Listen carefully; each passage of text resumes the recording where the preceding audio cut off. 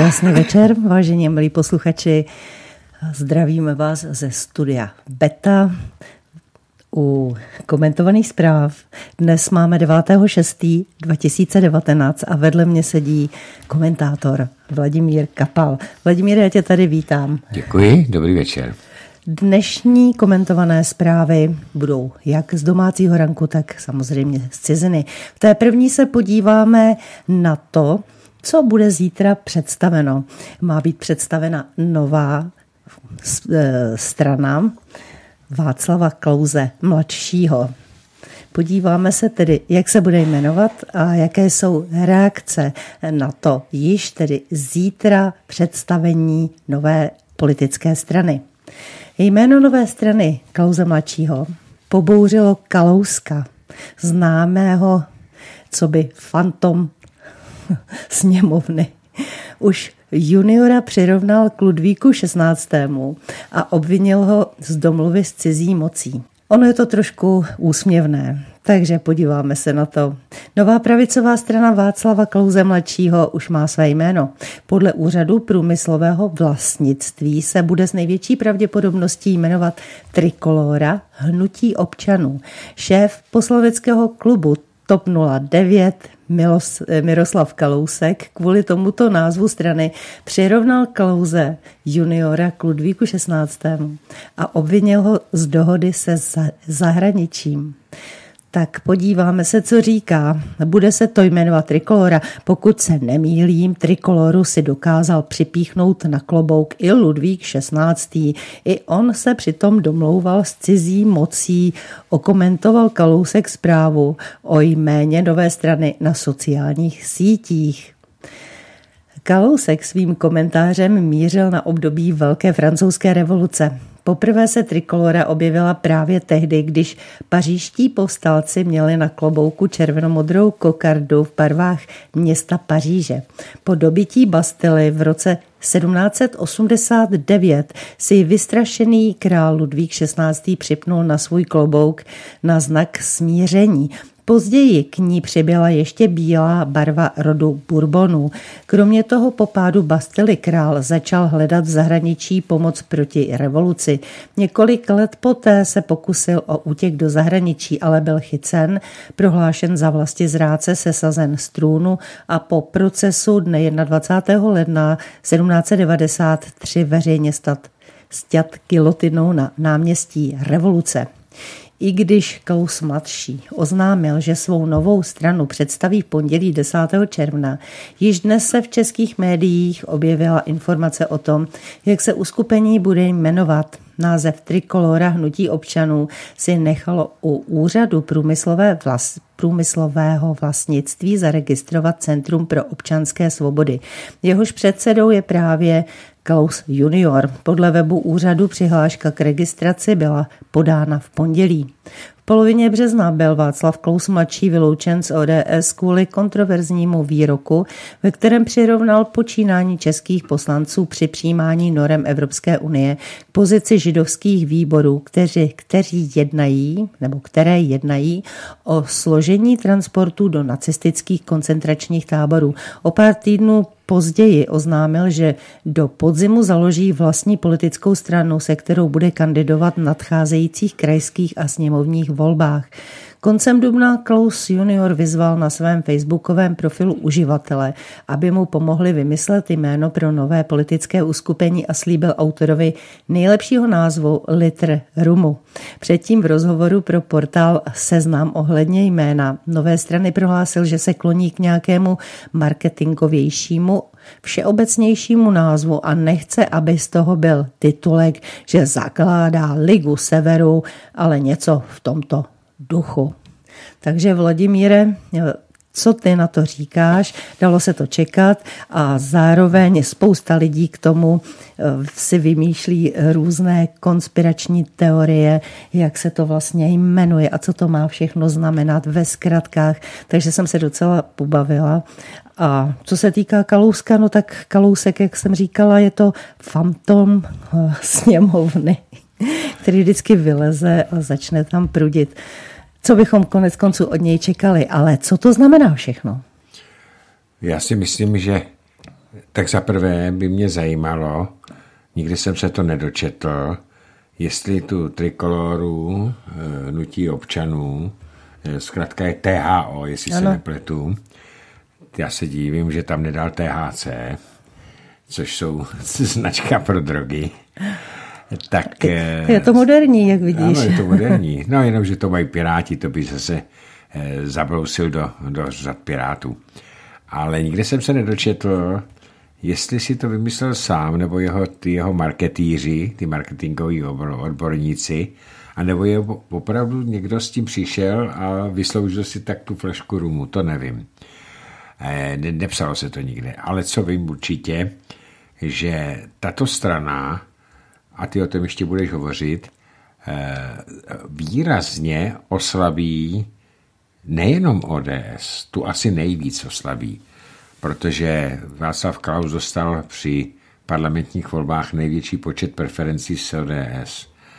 Takže díky tomu, Je to jakým, jakým způsobem psal na těch, ty, ty poznámky a na těch eh, sociálních sítích. A takže oslabí nejpěr, nejvíce ODS, ale proto taky řve fantom sněmovny, jak si správně na, na, nazvala eh, Kalousek, protože hm, za prvé já se domnívám, že eh, založení Klausovy pravicové strany tak zazněla hra na TOP 09. Už teď v preferencích je pod 5% a většina slušných pravicových konzervativců přejde z TOP 09 do kauzové strany. Samozřejmě tam přijdou i verlibáři. No to rozhodně. Ty, to, to, tomu, to se nevyhne, tomu se nevyhne žádná uh-huh. strana. Nicméně do této strany může přetáhnout i část voličů ostatních stran, tedy ANO i SPD. A e, protože třeba víme, že teď do evropských voleb spoustu komunistů volilo SPD kvůli osobnostem. Eh, právě nejsem si jist, zdali to postihne, tedy úbytek preferencí i komunisty, protože přece jenom ti, ti zarytí jsou levičáci, ale určitě to postihne i část voličstva ČSSD, protože ČSSD už se dneska nedá počítat jako levicovou stranu, ale dá se počítat jako pro unijní, pro migrační, klientelistickou stranu. Takže liberálně demokratickou. Liberálně, ano, ano liberálně demokratickou. A to určitě nebude. Takže si myslím, že eh, ta jeho strana Trikolora eh, určitě získá přes 5% a je otázkou, jak moc jí budou voliči věřit. Abych se ti přiznal, tak eh, když... Máš tam vykřičník? Hezky, já tam mám vykřičník. ano, mám. Já jsem přesvědčen o tom, že krajské a parlamentní volby nejsou hlavním cílem Václava Klauze juniora. Já jsem přesvědčen o tom, že on si tady už vybudoval předpolí pro příští kandidaturu na prezidenta. Ale ty volby budou dřív, takže on si to ano, tam může otestovat. To, to, je, to je ta, to je, říkám, předpolí. Předpolí to znamená, že si tam obsadí území, aby mohl udělat hlavní úder. Takže to je předpolí. Tam, tam si myslím, že bude jeho úsilí na, na, na, na, na pěto nebo zaměřeno. E, nicméně jsem zvědav, jak příští rok, protože příští rok jsou krajské volby, tak jak příští rok uh, uspěje v těch krajských volbách. Ono to totiž není vůbec jednoduché. A uh, myslím personálně. A vidíme to na no, SPD. Na všech. A na všech, to ve všech, ve všech politických ve všech stranách. politických stranách, že chybí osobnosti. A pak se tam dostávají lidé, kteří sice se staví eh, jakoby do dobrého světla u těch vůdců těch stran. A co si budeme povídat? Vždycky záleží na té hlavní osobě, na tom Určitě vůdci. Na tom lídrovi. Na tom lídrovi. Ono slovo vůdce je dneska pejorativní díky tomu Führerovi, ale ano. jinak eh, se to říci nedá, protože já nemám rád, eh, nemám rád anglická slova, nebo to česky se to jmenuje vůdce nebo čelní představitel, tak eh, je tam problém toho personálního obsazení. A oni se tam hodně lidi staví a pak hledají jenom, jenom svý soukromý cíle a svůj soukromý osobní zisk. Uvidíme, uvidíme. Myslíš si také, že eh, do té strany zahrne svého otce Václava Klauze staršího? No, oni se kvůli tomu pohádali, protože Václav Klaus mladší eh, samozřejmě trpí syndromem silného otce. Ono od počátku v podstatě politické činnosti Václava Klauze mladšího, tak on byl vždycky ve stínu svého eh, otce a je to tam cítit. Proto se pohádali, protože on eh, starý nebo starší Václav Klaus si myslel, že tam bude mít významnou roli mm-hmm. a on ho v podstatě odkázal do mezí, patřičných mezí s tím, že mu řekl, že by mohl být v té straně samozřejmě jako zahraniční poradce nebo poradce v otázkách zahraniční politiky. A já si myslím, že při narcisismu Václava Klauze staršího to nepovede, eh, nepovede to řekl bych, takové dobré atmosféře. Bude mm-hmm. tam klasická rivalita, rivalita. otec-syn. Já to znám, já to znám ze svého vlastního života, tak je kdy pravda, jsem se že, snažil že Václav Klaus svého otce. Starší je narcis, který opravdu, ale opravdu si o sobě myslí, že to, to nejlepší, on o sobě nepochybuje, nepochybuje nikdy. Přesně tak. A tady, Nic... tady je to velice zajímavá situace, protože já se také domnívám, že Václav Klaus mladší bude chtít jít svojí cestou, Nakonec on sám byl v blízkosti toho eh, táty a viděl, jaké chyby dělá. Eh, sice se k tomu nějak nevyjadřoval, v tomto směru je docela decentní, korektní vůči svému eh, tátovi, který mu samozřejmě může být velmi prospěšný, protože má zkušenosti, ale na druhou stranu si myslím, Klaus mladší uvědomuje, že i by to mohla být jakási černá tečka, která brání tom, aby někteří lidé prostě nejsou ochotni odpustit jak tu divokou privatizaci, tak potom i jeho amnestie, anebo poslední amnestii, kdy zlegalizoval skutečně ty mm, rozkrádačky tady, ať už to bylo v jakémkoliv zájmu. On říká, že to bylo z toho důvodu, že on vlastně chtěl v těch 90. letech, aby tady eh, neexistoval kapitál, tak aby eh, tady byli lidé, kteří jakýmkoliv způsobem k tomu kapitálu přijdou s tím, že by se tady investoval. Ale jak už to bývá, tak lidé jsou tací, že myslí hlavně na sebe a nikoli na tuto zemi a tak se chovali jako, eh, jako loupežníci a spoustu peněz teda vyváděli ven. Konec konců máme tady spoustu případů, eh, podívejme se na Bakalu a tak dále, co ta situace, která tady byla, co umožnila vlastně těmto lidem zbohatnout a okrást stát. A právě tuhle ten černý puntík tam vždycky eh, Václav Klaus starší bude mít. Ale on ho bude mít i Václav Klaus mladší protože je to spojeno s, ná, s jménem Klaus. A to je přesně další, eh, další spíš negativní aspekt, že vždycky bude hm, spojován se svým otcem, který tady v těch divokých, jak si správně řekla, eh, klondajkovských letech prohlásil, teď na 10 minut zhasneme, rozkaďte si, co chcete a až za 10 minut rozsvítíme, tak ať už se budou dodržovat zákony. Když si vzpomínáme víc takových kožených a tak dále. No. A navíc víme, že někteří ekonomi tvrdí, že ekonomové tvrdí, že bylo rozkradeno a vyvedeno z republiky mezi dvěma až třema biliony korun právě díky Klausově privatizaci a já mu to nikdy nezapomenu a neodpustím, e, i když na druhou stranu jeho postoj k Evropské unii od samého začátku a především i teď postoj k migraci, tak eh, ta je zase pro mě eh, akceptovatelná. Eh, vzpomeňme jenom, že on byl posledním prezidentem celé Evropské unie, který podepsal Lisabonskou smlouvu a to až po, ohr, po ohromném nátlaku kdy už byl vytvořený, bylo vytvořeno koncílium lékařů, psychiatrů, psychologů a dalších odborností, které v případě nepodepsání ho totálně zničilo. Tak eh, by ho básili za nepříčetného Nesvé pre, prezidentství, že jo, a no, okamžitě by podle eh, ústavy následoval předseda sněmovny nebo senátu, to byl druhý předseda, ten by to podepsal.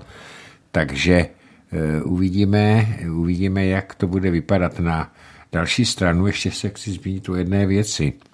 Jak už jsem tady řekl, tak se domnívám, že právě pro té eh, rivalitě otec-syn, takže Václav Klaus mladší bude chtít eh, potom předpolí si vytvořit eh, takový odrazový můstek do té prezidentské ka- Takovou kandidatury. ale já osobně bych ho nevolil. Tak my zatím se nám natolik neprofiloval, abychom o tom vůbec mohli uvažovat. Ale Bible Uvidím. říká, Bible říká, podle skutku poznáte je. A jablko nepadá daleko od stromu. A, tak to už je české přísloví. Dobře. Ale... ale podle skutku poznáte je. Podívejte se, to byly plamené, několikary plamené články, ty pondělní sloupky, proti eh, naší účasti vojska v Afganistánu, kde si třeba naběh na, na vidle, když řekl, že tam Eh, nemají, myslím, že francouzi, že tam nemají vojska, oni ho tam mají, ale to je odpůdu jako omluvitelné. Tak oni je stáhli už. Už je stáhli, ale je to omluvitelné, jo? Jasně. Jenomže, jestliže byl požádán, aby se připojil, byly potřeba dva hlasy, aby ano, bylo 41. Kamura tady o tom mluvil. Aby byly potřeba dva hlasy, no protože lidi si to nepamatují. Eh, kde by byla mimořádné zasedání sněmovny o stažení českého kontingentu z Afganistánu. Mimochodem stojí nás 104 miliony denně. Ten, ten ta, ta legrace. Ta, ta legrace. Tak on proto to nepodepsal. Stejně pak jak, tak jako Jaroslav Foldina. Ano, to jsem chtěla také A zmínit. oni měli 39 podpisů. To znamená, že ten Okamura to nemohl dát na jednání a Václav Klaus mladší týden 14 dní předtím burcoval, to byl plamený, plamený článek proti Afganistánu, ale když přišlo na lámání chleba, a mohlo se v tom skutečně něco se v tom udělat. Sku, přesně tak, skutečně něco udělat, tak on jim řekl, že to nepodepíše, protože už to slíbil Černochový. Jasně. To už to je stranická poslušnost. On už teda to měl, já ho neomlouvám, protože člověk si má stát z principu za tím, co, co říká napíše. a co napíše. A tohle to byl teda takový, takové kách Ale ono to, není, ono, to, on to není jediný případ. Například on e, by byl pro, by zvedl ruku pro americkou základnu v České republice.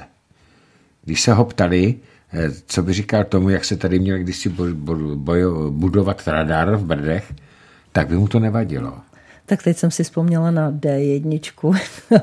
ano, ano. Bylo by dobré, kdyby občas jel po D1, když ne, tam jede chci, konvoj amerických Já jenom chci říct, vozidel. že lidi berou Pácova Klauze mladšího jenom podle toho, co píše, ale už nesledují, anebo nemají možnost sledovat, jak se ve sněmovně chová. Mm-hmm. A je tam rozdíl. Ale ty jeho myšlenky, tak jak jsme měli možnost i na různých konferencích sledovat, tak vždycky měli hlavu a patu. Ale to ano. Ale to... A byli rozumné. Je to člověk, který má velký potenciál. Uvidíme, zda ho zhodnotí právě v té nové politické straně Trikolora. Já si myslím, že ano, ale znovu opakuji, případě, že toto, že se nepletu, a toto je předpolí pro prezidentskou kandidaturu, tak já bych ho určitě nevolil.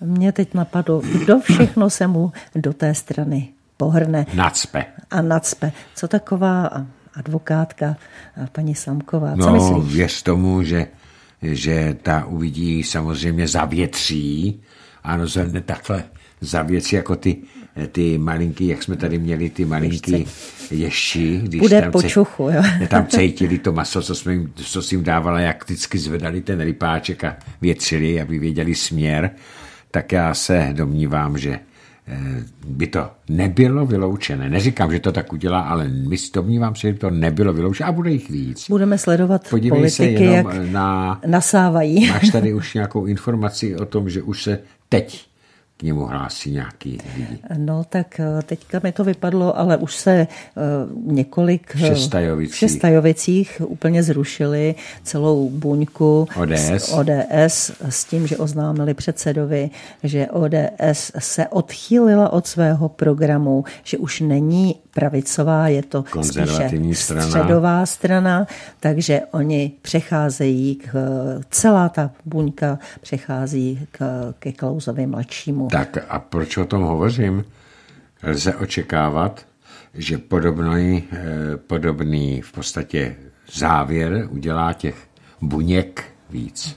No, vem si to jenom ti, co mu dávali ty preferenční hlasy, tak do jednoho k němu přijdou. Ano, ano, ano, ano. Jo, pokud teda jsou členové ODS, anebo se stanou jimi. Jinak tak já jsem přesvědčen o tom, že eh, tahle nová strana eh, Václava Klauze mladšího nebude mít problém získat 5% v jakýchkoliv volbách. Ještě jsem se chtěla zeptat, eh, jaký myslíš věkově, kteří lidé by měli zájem do té strany vstoupit, protože ti mladí ti volí Piráty. A budou volit, a budou piráty. volit Piráty. Takže se jedná o střední, vlastně generaci. střední generaci a i třeba starší. Střední budou... a starší generaci, ale ta starší generace zase podle těch eh, výzkumů, co jsem měl možnost eh, vysledovat, tak ta starší generace, teď je otázka, co říká starší generace. Já tu střední generaci beru do takových 55 let. A tam bych eh, si vsadil, že bude jsou to konzervan a tam bude nejsilnější voličské jádro. Ale ti 60 plus, 65 plus, tak ti zůstanou věrní Babišovi, mám teda na mysli důchodce, protože, jak to říkala ta paní, teď jsme se to nedávno dozvěděli, no já volím Babiše, on mi přidal 900, ale paní, teď vám to zase z druhé strany vytáhne, všechno zdražili. To nevadí, to dělal Kalousek také, dal mi 40 korun a ten mi dal 900 a příští rok mi dá zase, tak já budu volit vždycky Babiše. No, tak to je stejně, to jenom uh, tak spekulujeme. Ne, to uvidíme. Jo, jo, jo, jo, ale myslím si, co se týká toho, toho uh, rozložení těch, uh, těch voličů ale nebo těch členů. Spe, politologové spekulují vždycky. Dobře, taky. Je to spekulace, je to náš názor. Bude, bude to zajímavé, uvidíme. Je to zajímavé, ale já jsem přesvědčen o tom, že eh, Trikolora bude stranou eh, spíše eh, lidí středního věku a velkých měst. A velkých měst. Podobně jako to měla Topka. Topka na tom nejvíc utrpí.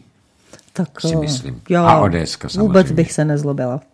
Takže podíváme se na další zprávu. A sice se podíváme na Slovensko. Babiš se shodl s Pelegrinem. Evropské unii chybí vize budoucnosti. A s tím já souhlasím. Já ne. Myslíš, že ta vize tady je Samozřejmě. na zničení, ale tak eh, v pozitivním slova smyslu tam ne, nic vize dobrého Evropské není. komise Evropské unie, unie je vytvoření evropského superstátu, při zničení suverenity jednotlivých členských zemí pod nadvládou Německa. Vize Evropské unie je vytvoření čtvrté německé říše. Jasně, tak ale rozchází se to eh, s představami eh, tady třeba teda Babiše a Pelegriniho. Podíváme se no, ty na si myslíš v pozitivním slova smyslu, no, ale tam není nic. Tak, premiéři Česká a Slovenska se v sobotu uh, sešli na panelu konference Globsec 2019 Bratislava Forum. Nešetřili kritikou na adresu Evropské unie. Diskuze se dotkla i společnosti Huawei. Evropské unii chybí vize, je třeba změnit fungování Evropské komise a rovněž činit rozhodnější kroky pro dosažení jednotného trhu. Shodli se premiéři Česka Andrej Babiš a Slovenska Peter Pellegrini. Podle názoru Andreje Babiše stojí Evropská unie na křižovatce. Důvodem je migrace a vystoupení Velké Británie z Evropské unie. Takzvaný Brexit. Brexit bez dohody by byl podle názoru českého premiéra problémem nejen pro samotnou Británii, Británii ale i ostatní země kritizoval také unijní rozpočet. Ten by se podle jeho názoru v době Brexitu neměl navyšovat. Na nespokojenost se stavem Evropské unie poukázal i premiér Slovenska. Zmínil, že nespokojenost se stavem evropských záležitostí se odrazila na výsledcích evropských voleb. Lidé nechtějí jednoduché odpovědi a extrémní řešení, chtějí zodpovědné vládnutí, řekl Pellegrini o výsledcích evropských voleb, nehledě na to, že Slovensko má nejnižší volební účast ve volbách do Evropského parlamentu. Premiér řekl, že většina lidí chápe členství v Unii jako pozitivní.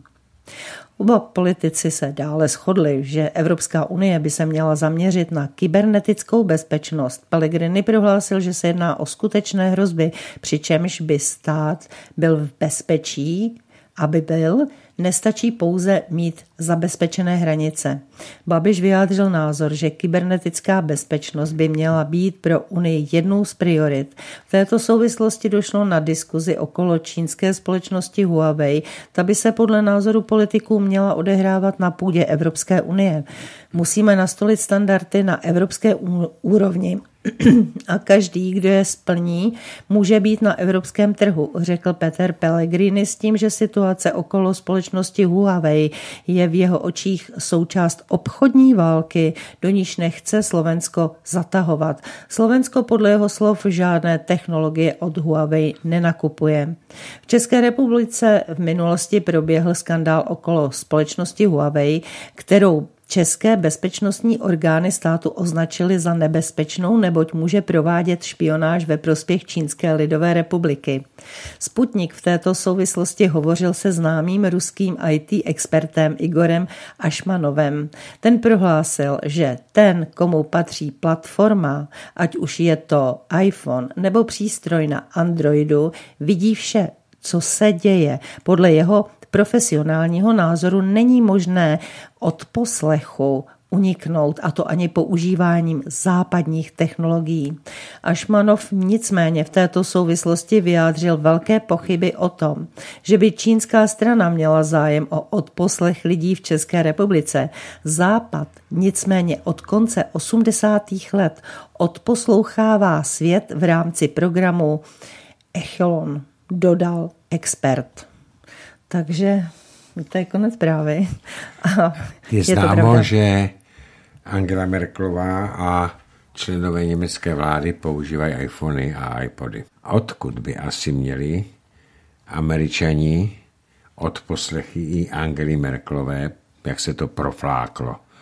Takže tady se jedná o souboj dvou světových velmocí, ale já bych řekl, že se tam nejedná hlavně o to špionování já nevím, od poslechy a takovéhle blbosti, to se děje stejně.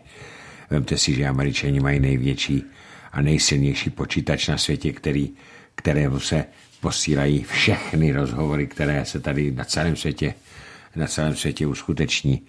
Tady se jedná o peníze, protože ten, kdo ovládne 5G, tak dostane ohromný zisk. A já jsem dneska četl, že už začíná Google, který vyhrožoval, že mu ty adaptace, všechny ty, ty co je, jsou v Androidu, ten systém ano, Android, ano. že to Huawei sebere. A já jsem dneska četl, že od toho couvají, protože samozřejmě by přišli o šílený peníze z Číny. A Čína je nejsilnější ekonomika světa. Takže takhle. A co se týče toho važení, vzpomeňte si, kolikrát mluvil Andrej Babiš tak, aby to dobře znělo hlasu, teda sluchu českého občana, který nemusí mít eh, ve většině moc rád Evropskou unii, zásadně odmírá a odmítá imigraci. A podívejme se, jak a pro co hlasovali všichni jeho poslanci v Evropském parlamentu. Tomu se jasně říká kázat vodu a pít víno. Takže nesmíme věřit tomu, co říká Andrej Babiš. Jo, a co se týče pana Pellegriniho, ten byl vyměněn za pana Fica, který striktně odmítal migraci, právě proto, proč myslíte, že ho jmenoval Kisko? Kiska. No, protože je vstřícnější vůči Evropské unii. Takže toto jsou jenom populistické řeči a já osobně tomu nevěřím. A říkám jednu věc, já nevím, jestli tam budeš mít ještě nějakou informaci o, tom, o těch milionů chvilek, abych nepředbíhal. Ne, můžeš to klidně říct, tak tady se může zmínit, vám řeknu ale... jednu věc, vážení přátelé. My vyznáváme demokratické principy. Mohly být ty volby cinklé. Oni mohli být cinklé v tom, že přidali, myslím, parlamentní volby, přidali stranám, jako je TOP 09, to už jsme tady probírali. Jsme tady tím, poskrát, ale v žádném případě nepřidávali hnutí ano, proti, uh-huh, proti kterému brojili. Ne. A jestliže dostal 30% hlasů, a zvítězilo hnutí ano tak ohromným rozdílem, jaký od 93. roku k samostatné České republiky nezvítězil nikdo, tak tvrdím, že and, vláda Andreje Babiše je menším zlem, než to, co chtějí majdanisti na Václaváku. Protože ty chtějí křikem eh, tisíců lidí, zblblých lidí, chtějí zrušit demokratické volby a ustanovit do vlády ty, kteří to punktují, kteří to platí, samozřejmě to je od Soroše peněze, aby se tam dostali ty, kteří nás chtějí zavést do totální žumpy. Kalousky, Petra Fialy, Stanjura, Schwarzenberga, no tak Schwarzenberga už ne, ten už je rád, že rejchá, ale dalších těchto těch z toho stanu a ODSky a TOP 09, O to jim jde. O to jim jde. A my, jestliže chceme mít demokracii ve státě, i když stojí zadrek, ale přece jenom tady máme jakési volby, tak přece nemůže ulice diktovat pát vlády tak, jako to bylo v tom, na tom Slovensku. Tam se to povedlo, tak se to zkouší jinde. A já se musím přiznat jedné věci. Já souhlasím s Andrejem Babišem, jsem jeho nepřítel. Já jsem měl pořady... Tak jsme ho nikdy nepodporovali samozřejmě. O tom, jak ty. získal miliardy, co za ním je mrtvých a tak dále. Ale jestliže řekne, že nepodlehne tlaku ulice a nebude abdikovat, dokud nebude pravomocně odsouzen, pak by abdikoval, tak má pravdu. A ne jako Fico, který se Eh, jak se to září slušně, že se před tou ulicí no, zbláznil? Ne, ne podělal. Ne, podělal, no. Podělal a odstoupil. Kdyby, měl, kdyby to byl chlap, tak neodstoupí. Nevím, jaké tam byly tlaky, ale uh, pokud by byl skutečně si jistý v kramflecích, tak tam nebyl důvod, proč by měl odstupovat. A taky on tam byl na, zá, na, výs, na základě výsledku voleb a získalo ten smer je 30%. Tak nevím, nevíme, jaké všechny tam byly tlaky, ale samozřejmě prezident eh, Kiska, ten na něj tlačil hodně, no, no, no, tak no. jako situace tam byla určitě složitá už v souvislosti se zavražděním eh, Kuciaka a jeho přítelkyně. A to bylo jenom, jenom zneužito vlastně tak proti... tomu, aby schodili vládu. Ano, ano. A já jsem zvědavý kdy se tady v Praze objeví taky nějaký první mrtvý. Taky se o tom mluvilo už. Aby Jaký náhodou, jak to říká Petr Hájek, už tady nebyli nějaký gruzinští nebo izraelští ostřelovači. Naštěstí. No, protože tady máme... máme na tom Václaváku, Sonio, nejsou dvě skupiny. Je jenom jedna skupina nikdo proti ním nepíská a nevytváří tam takovou atmosféru jako Ale... 25. dubna na Václavském náměstí, když tam měl meeting Tomio Okamura a byli tam eh, vlastně zástupci evropských pronárodních stran Lepenová, eh, Proti, eh, pro, národních, pro národních, pro národních, pro národních, pro národních protiimigračních. Ano, ano, ano. Takže uh, víme, jaké, zažili jsme to, jaké tam byly protidemonstrace, jak vlastně se tam pískalo a tak dále. No konec konců na těch těchto demonstracích, a to tam bude v jedné zprávě, tam byly opět, jak ty si říkal, že a viděli jsme to, anglické názvy, tam jsou prostě profesionální ano. stávkující demonstranti, kteří bavil. vůbec neumějí česky a ty mají to placený, je to takhle ošetřený, tady jsou tlaky zvenčí a no, největší ironie je, nebo parodie, když to vem, tak to, že ta neziskovka má název Milion chvilek pro demokracii. A chtějí zrušit demokratické výsledky absurdní. demokratických voleb. Je to absurdní. Protimluv je to přímo je, tomu, co tak, oni dělají. Přesně. Podíváme se teďka na sudecké Němce. V bavorském řezně probíhal 70. sjezd Sudeto německého krajského združení. Během tiskové konference se nejvyšší činitel sudeckých Němců Bernd Posselt dotkl několika témat, včetně evropského nacionalismu, uspořádání budoucího sjezdu v České republice a roli Vyšegrádské čtyřky v Evropské unii. Podle poslta by sudečtí Němci mohli uspořádat budoucí sjezd v České republice, ale jsou si vědomi toho, že je to citlivá otázka pro českou společnost. Dodal, že se obává psychologické atmosféry, která možná ještě není příznivá. Poslt však upozornil na to, že v Česku již proběhla řada souvisejících kongresů a komunálních setkání. Když nás ale někdo pozve, Potěší nás to, dodal, no aby ne. Za dobrý signál zbližování Čechů a sudeckých Němců posel považuje účast oficiálního zástupce České republiky, českého velvyslance v Německu Jana Podivínského. Ten v neděli přijel na sjezd. Myšlenku budoucího uspořádání sjezdu sudeckých Němců v České republice podpořil i německý minister vnitra Horst Seehofer a označili ji za velkou. Podle něj po sněmu v České republice historie sudeckých Němců bude vyvážená. Hezké slovo. Ve svém sobotním projevu ministr také vysoce ocenil přítomnost Daniela Hermana, bývalého českého ministra kultury. Herman se v roce 2016 stal prvním členem české vlády, kdo na sudeto německém sjezdu vystoupil s projevem. O rok později se sjezdu zúčastnil tehdejší vicepremiér Pavel Bělobrádek. Od roku 2017 se však členové vlády České republiky sjezdu neúčastní. Bernd Posselt také upozornil na fakt, že mimo historický a kulturní význam mají sudeto německá setkání i politickou náplň. Prvním souvisejícím cílem prohlásil boj proti opětovnému rozdělování Evropy na východní a západní. Podle poslta je to rozdělení možné, ale je třeba mu zabránit. Upozornil na ten fakt, že sudečtí Němci nepodporují dělení Evropy na blok Paříže a Berlína z jedné strany a názorově odlišné vyšegrádské státy Česko, Slovensko, Polsko, Maďarsko na straně druhé.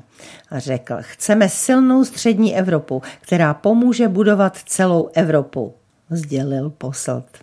Posselt uvedl, že považuje nacionalismus za neštěstí, které trápilo Evropu v minulém století. Jde podle něj o kdy podle něj šlo o druhou světovou válku, následné vysídlení Němců a rozdělení Evropy železnou oponou. Proto si myslí, že je třeba bojovat proti nacionalismu, populismu a extremismu, jak pravicovému, tak i levicovému. Dříve v rozhovoru pro ČTK Posselt uvedl názor, že nacionalismus zničil starou Evropu v první světové válce a po druhé světové válce východní země. Evropy.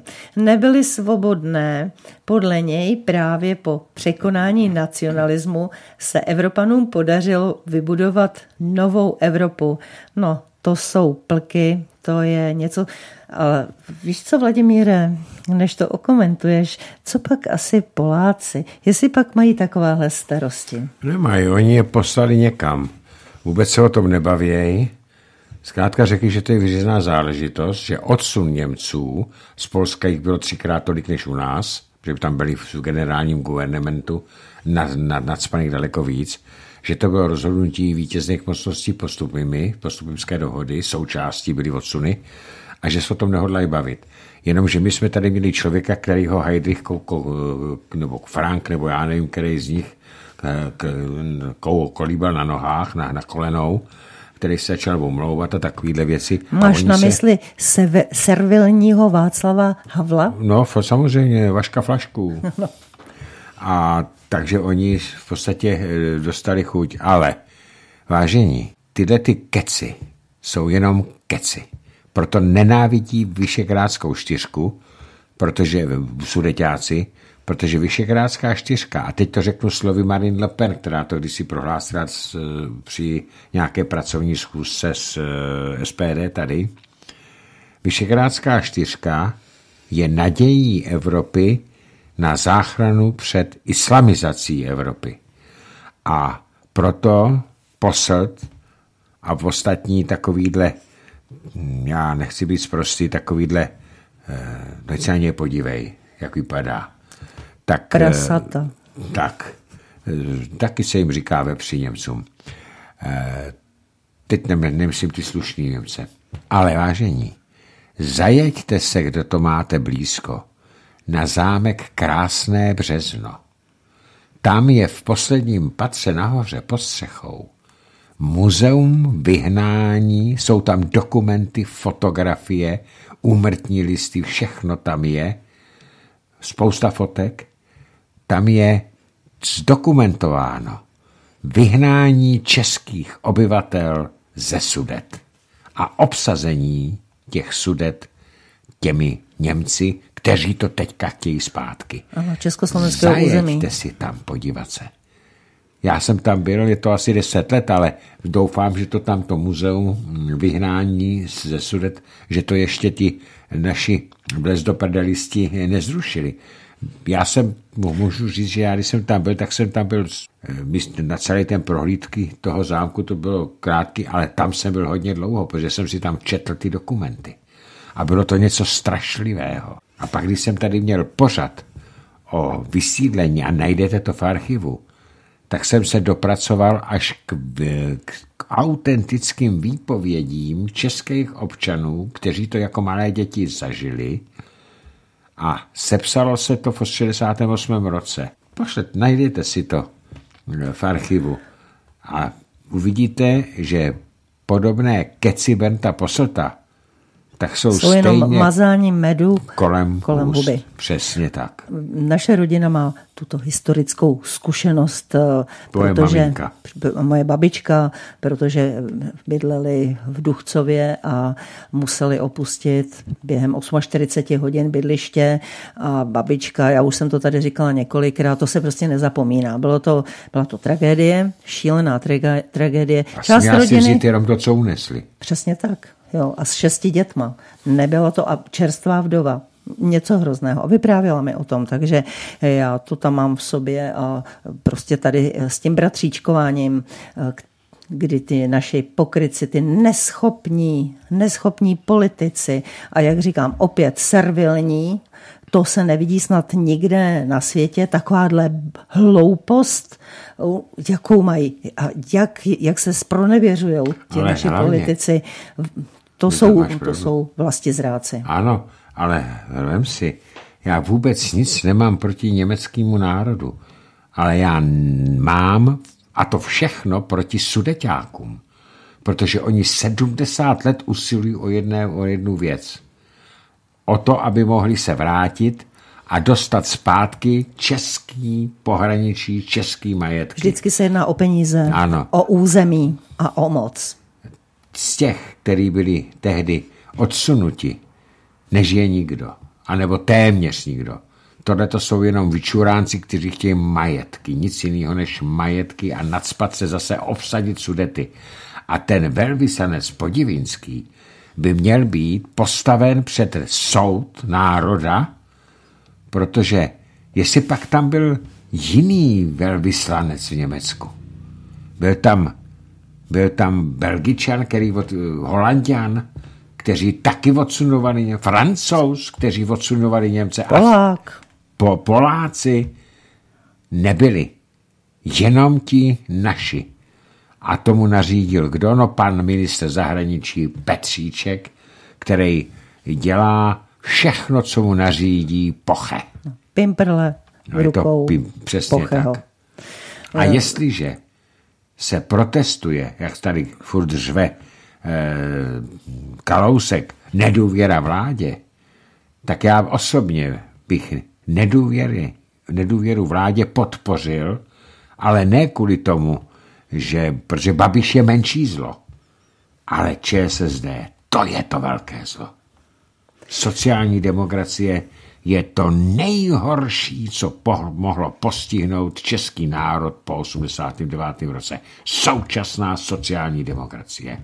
Podívejte se na jejich dlouhodobý pro, pro, program, kde mají podporu globalizace, nového světového řádu a nových světových pořádků. To je současná sociální demokracie. Když si teda na tu sociální demokracie, teď bude doopravdy docela zajímavá situace, pokud by eh, byla vyjádřena eh, Babišovi a jeho vládě nedůvěra, jak se k tomu postaví Tomio Okamura? Zítra ho tady budeme mít eh, budeme ve studiu. Se bude, budeme se, teda budeš se ho na to ptát a bude, bude nás to velmi zajímat. No tak protože známo. on eh, v podstatě už i prohlásil, on nepodporuje tuto vládu a to z důvodu toho, že tam je ČSSD, které má minimální zisk, sotva prolezlo do parlamentu a de facto tady vládne. Ano, ano. Takže je to zajímavá situace. Na druhé straně údajně demokratický, ale my říkáme, že je to nedemokratický blok, bude se snažit Tomia Okamuru nějakým způsobem zainteresovat,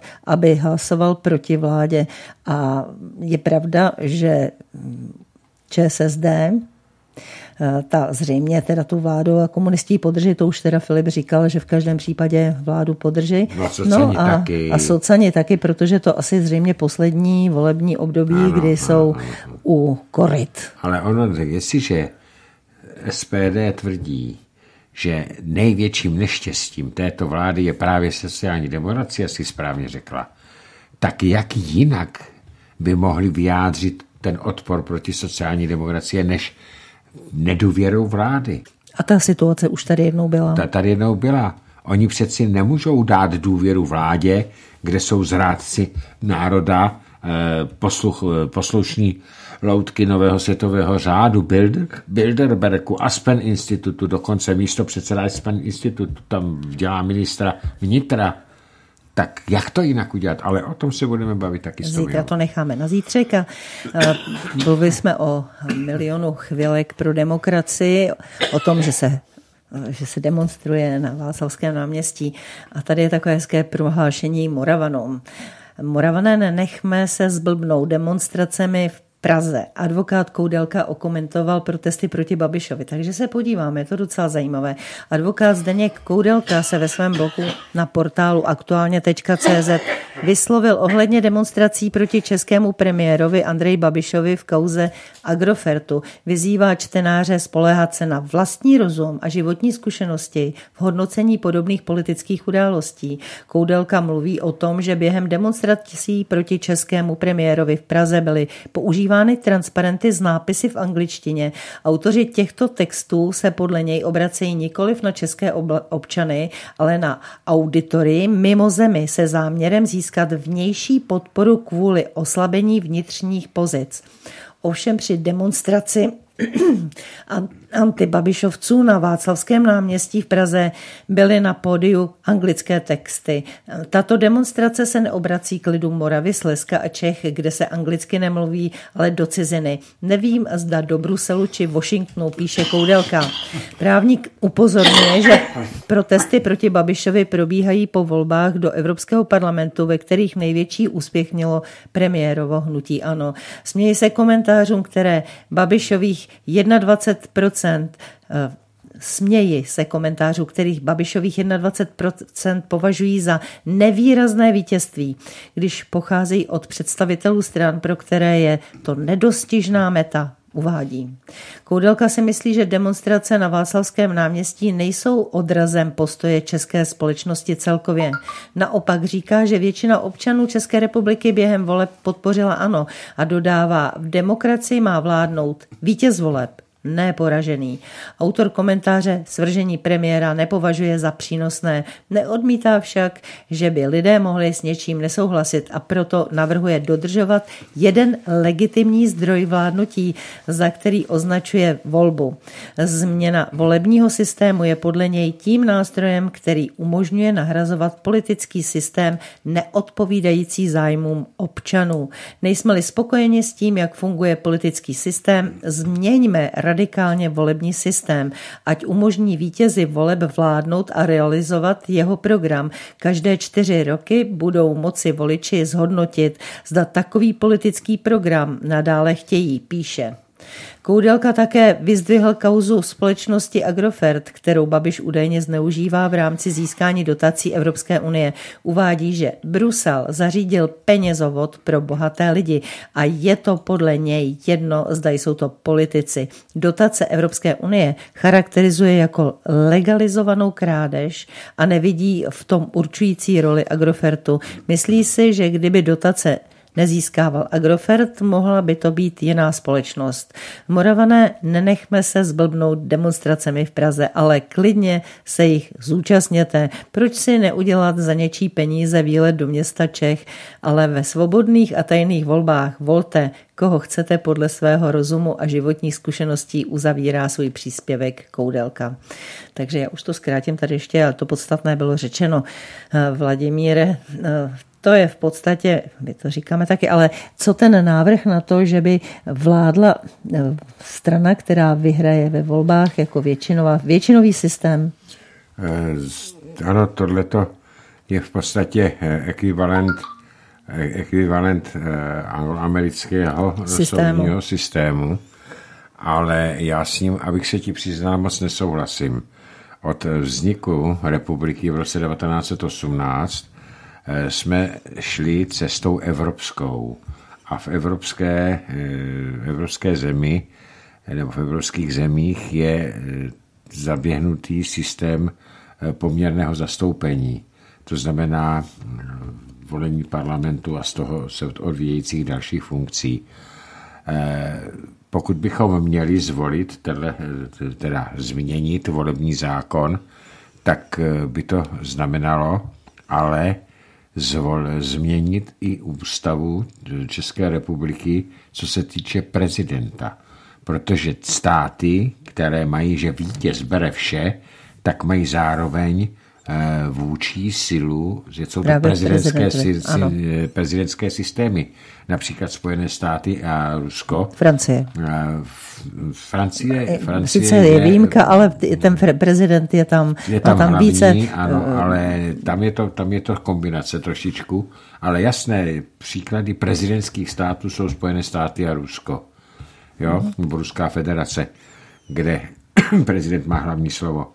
A e, jestliže my máme přímo voleného prezidenta, což je vynikající demokratické opatření, a taky si politici, hlavně ODS a těhle ti mm, drbou hlavu, že proto zvedli ruku třeba Marek Venda, který už se vyslovil, že by se to mělo vrátit tam, že to volí parlament, tedy Senát a sněmovna. No, tak teď by to, to by Senát nikdy, by to schválil. To by Zeman nikdy nebyl prezidentem. Takže ne. Já to vidím jinak, Sonio. Já to vidím tak, že když máme volební systém, jaký máme, tak ta koalice je založená na koncenzu různých politických pro, programů. A záleží na těch koaličních partnerech, jak hlídají toho svého koaličního partnera. Já naprosto nerozumím Andrej Babiši a e, ano, tady opravdu 7% ČSSD určuje zahraniční politiku a Andrej Babiš to, který má jiný názor, tak to klidně jako premiér přehlíží. Tady vidím, že musí poslouchat Berlín. A je to také z jeho strany pokrytectví, protože v každém případě mu jde hlavně o získání dotací a proto také šel do, vlád, do, politiky. do politiky. Ale eh, nepřipomíná ti Andrej Babiš eh, jak on se jmenoval, Bolek Polívka, Bohouš. A teď si vás koupím. A teď si vás koupím. Všecky. Mhm, připomínám. S tím šel Babiš do politiky. No, akorát, že Bolek Polívka má trochu jiný nos. no ne, ale tady je ještě jeden důvod. Milion chvílek. Babiš zaměstnává si 30 až 40 tisíc lidí. Ti demonstrující, kteří chtějí tady u nás zrušit demokracii, a chtějí nastavit vládu ulice, jako to bylo ze začátku pařížské revoluce, vyústilo to samozřejmě v tím, že tisíce lidí bylo popravených, tak oni si vůbec neuvědomují, ti obyčejní lidi, kteří tam jdou protestovat s nima, že si prostě protestují proti tomu, že tady je skoro mm, nejmenší nezaměstnanost v Evropě. Oni teďka, kdyby opravdu donutili a Babiš skončil i s podnikáním, tak bude rázem spousta tisíc lidí bez práce. No. Ale to jsou přímí zaměstnanci. A co subdodavatelé? A co, co ty ostatní? Vždyť oni si vůbec neuvědomují, že protestují proti svýmu v celku dobrýmu, pohodlnému životu. To je naprosto jdoucí proti logice.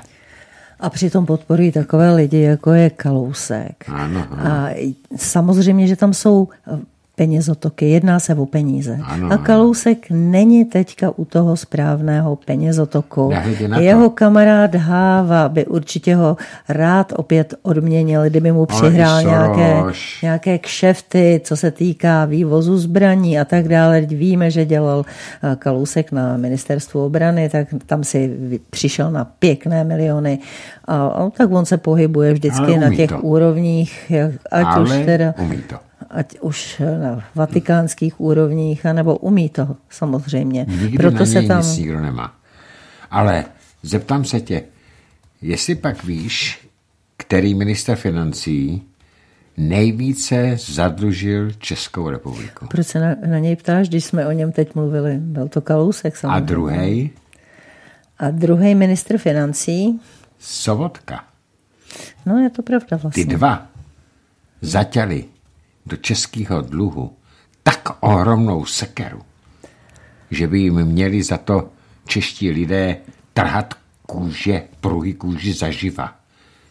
Kalousek úplně největší a Sobotka. Mě by zajímalo, jestli Bohouš má někde něco ulitýho, protože mu vypadal jak Jeliman a vlastně, když se podíváme na OKD a tak dále. Tak to byly Bože, takové jo. obrovské kauzy.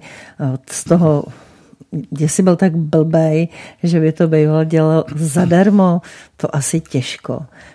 Jak dlouho je pan Sobotka mimo zastupitelskou funkci? Já jsem no, nikde nečetl o tom, že by, se, že by byl někde zaměstnaný. Třeba mi to uniklo. Jestli teda vážení posluchači, někdo jste někde četl, co teďka, čím se živí pan Sobotka, tak mi to napište, nebo zavolejte eh, zítra eh, do pořadu, protože já jsem to nikde nečetl. Ale já jsem znal taky takového podobného Jelimana, který k milionům přišel jenom díky svým A ten potom dělal koncipienta, myslím. A ne, ne, ne, ne, ten nedělal koncipienta. Ten záhadně onemocněl no to jo. a zemřel. To je pravda, ale toho koncipienta Koncipient dělal. dělal a právě proto ho dělal, aby, vyhra, eh, aby mohl dostat legálně ty miliony. Jo? Takže, hm, protože on přeci eh, prodal a koupil a tak dále. Zkrátka a dobře, na druhou stranu on padnul kvůli já nevím, nějakým pěti nebo sedmi milionům korun, ten Gross. Ale byl to člověk, který se zaplet do vyšší hry, než kterou uměl eh, v podstatě rozpoznat. A tyhle ti lidi, ty neodpouštějí. Podívejme se na Litvíněnka. Tak jako samozřejmě, že tady jsou vždycky nějaký tlaky. Podíváme se do Moldávie. V Moldávii byl podepsán výnos o rozpuštění parlamentu. Poslanci a prezident jsou proti. A teď podívej se, co tam, co je vlastně vůbec všechno možné. Proces vytvoření nové vlády v Moldavsku vyvolal vnitřní politickou krizi. Ústavní soud, ústavní soud eh, v zemi novou vládu považuje za nezákonně stvořenou a zastupuje rozpuštění parlamentu a provedení předčasných voleb. Velvyslanci a prezident jsou, podle mě by to mělo být poslanci, ale to je jedno, jsou proti a ze své strany označují za nezákonné rozhodnutí právě toho ústavního soudu. Po třech měsících od únorových parlamentních voleb se socialistické straně Moldavska a bloku Akum podařilo vytvořit parlamentní většinu. Země získala novou vládu v sobotu 8. června. Zástupci Ruska, Spojených států a Evropské unie vznik koalice podpořili. Ústavní soud však uvedl, že poslanci měli vytvořit vládu do půlnoci 7. června a jejich rozhodnutí označil za nezákonné.